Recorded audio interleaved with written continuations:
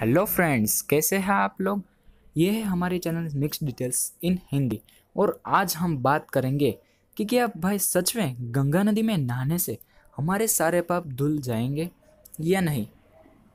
कुछ लोग इस पर बहुत कम भरोसा करते हैं और कुछ लोग ज़्यादा करते हैं।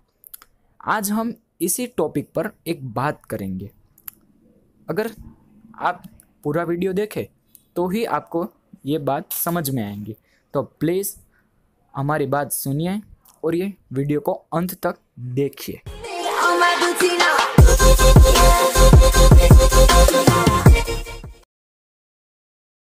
देखिए दोस्तों, अगर आप कोई भी कार्य करते हैं तो उसमें आपकी श्रद्धा होनी आवश्यक है एक बार देवी पार्वती ने महादेव से कहा कि, हे महादेव, हे परमात्मा, जो भी इस गंगा नदी में नहाता है उसके पाप क्या धुल जाते हैं या नहीं? तब महादेव ने कहा, जी हाँ लेकिन श्रद्धा आवश्यक है। तब देवी पार्वती ने कहा, कि वो कैसे? तब महादेव ने कहा, अब तुम पूरे दिन देखो, मैं सृष्टि पे गंगा नदी के तट पर जाता अब महादेव के कहने के मुजब महादेव सृष्टि पे अघोरियों का रूप धारण करके आए। तब महादेव ने देखा, वह गंगा नदी के किनारे एक गड्ढा बनाकर उसमें बैठ गए। तब एक व्यक्ति आया। उसने कहा, अरे ओ बाबा, आप क्यों यहाँ बैठे हो? तब महादेव ने कहा कि, क्या तुम मुझे इस गड्ढे में से बाहर निकाल सकते हो? तब उस व्यक्ति ने कहा, जी हाँ। मगर महादेव ने कहा, लेकिन तुम्हारे सारे पाप धुल गए होने चाहिए। तब व्यक्ति ने कहा, मैं गंगा नदी में नहाने तो आया हूँ, लेकिन सारे पाप धुल धुल गए, वो मैं नहीं कह सकता। यही सोच सोच कर वह व्यक्ति वहाँ से चला गया। अब बात खुद ऐसी बनी।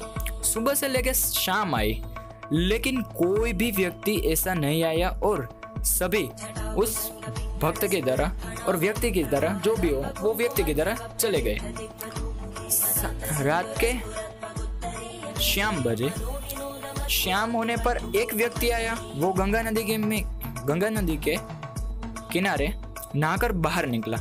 उसने कहा कि, अरे ओ बाबा, आप बाहर आ जाओ। तब शिव ने कहा, लेकिन मैं बाहर तो आ जाऊँगा, लेकिन तुम्हारे सारे पाप धुले होने चाहिए। तब उस व्यक्ति ने कहा, जी हाँ मेरे सारे पाप धुले हुए हैं। मैंने कोई भी ऐसा पाप नहीं जो मैंने नहीं किया।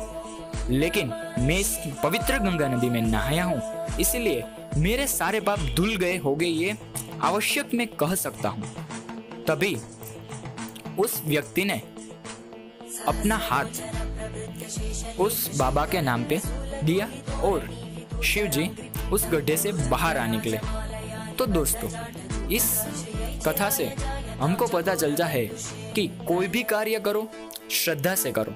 अगर आप भी गंगा नदी में नहाने जा रहे हो तो इसे श्रद्धा रखो कि भाई मेरे पाप धुल ही जाएँगे।